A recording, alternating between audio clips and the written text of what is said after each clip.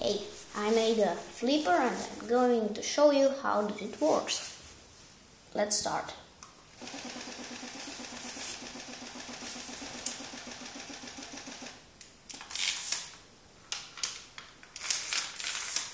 And you dodge the ball. Hmm. You try to dodge it up and try to don't make this I just made you have three balls.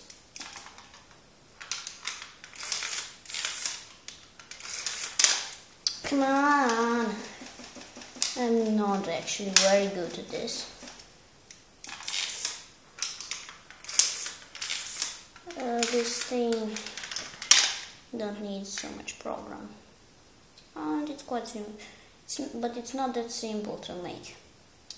Um, yeah, that's all for today and have a good time.